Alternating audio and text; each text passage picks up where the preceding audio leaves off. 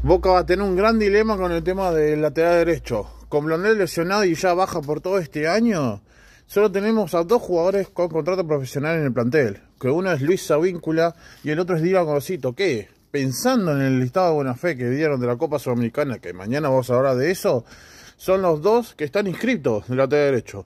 ¿Y lo demás qué pasó? Weigand, como saben, ya se fue al Inter de, Miami con Messi. Y también hay otro más que se fue a préstamo, que fue que se fue este año, que es Pedro Belurtas, que está en Barraca Central. Luego tenemos a uno que se fue libre a mediante Brown, como fue Nathan Costa, que el año pasado estuvo en la sub-20 campeona de, internacional. Y después tienen a Thiago Simoni en la reserva, que no tiene contrato profesional y que no lo tomaron en cuenta. Y a Matías Holguín, que está colgado desde enero. Entonces pregunto, ¿Boca podrá apostar con alguno de ellos o buscará otro cuatro? Es un gran dilema. ¿eh?